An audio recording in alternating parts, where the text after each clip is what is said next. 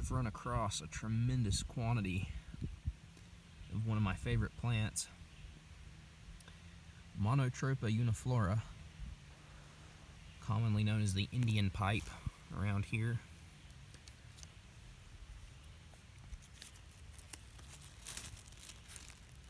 I always love seeing this stuff, but it might be kind of hard to show, but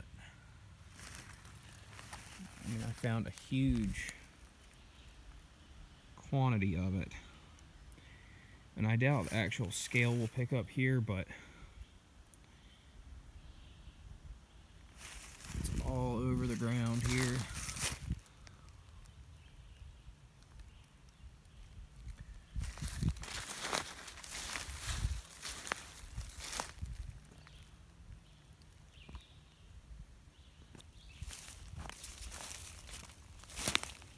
Lots and lots of it coming up all over the place.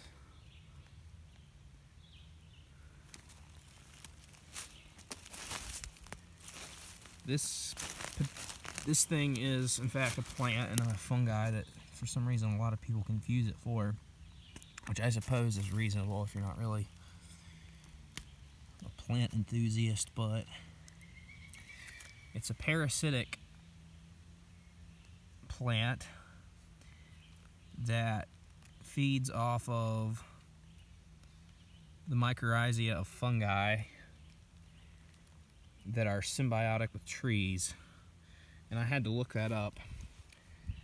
For some reason I was thinking it was saprophyte, but that's that's incorrect.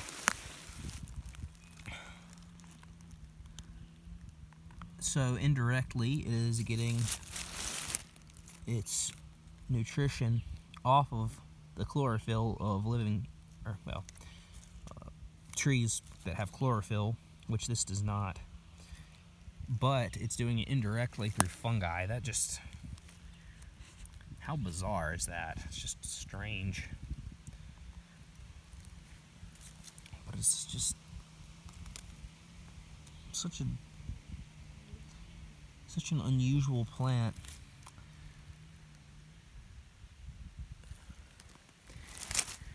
And I read they're apparently associated with russula mushrooms or fungi. And there are definitely russulas here. I believe that's a russula.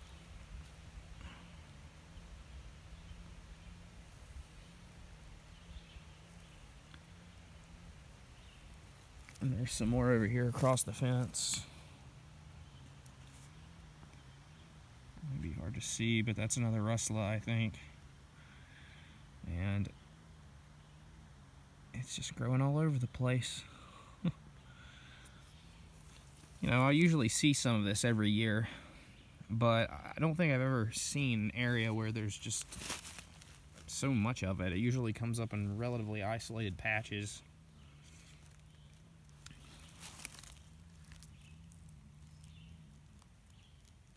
There you go, same shot. Now, Apparently, it's also associated with beeches, and there are no beeches in this part of the woods. The majority of the trees in this little sort of general area are, well, they're quite mixed, but we have oaks, maples, birches, hickories, That's a hickory right there. That's actually a shagbark hickory. Let's see what else. Black gum, sassafras, magnolia. So there's all kinds of stuff around here. But I guess the closest main ones to this little area is the hickory and the maple. But man, this stuff is just amazing. And where is it? Uh, oh yeah, those are the seed pods, and it is a seeding plant. It's not. it's not spore producing, which you would kind of think this strikes me as being an archaic plant, but it's it's seed producing. Those little tiny things right there. If I can focus. Hmm. So apparently propagation is difficult, which is not surprising with a lot of this unusual stuff that you find on the forest floor.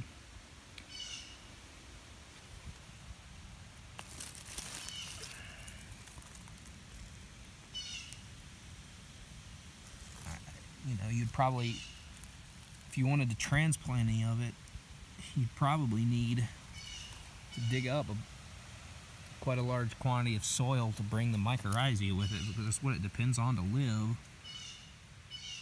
And assuming the mycorrhizae can form a symbiotic relationship with the local trees you're trying to move it to. So, anyway, I'm getting kind of rambly, but just had to point this stuff out. Some of this has a pinkish tint to it, but it's mostly white. Sometimes you'll see them in their pink. And then there's another monotropa. I don't recall the species, but it's uh, amber colored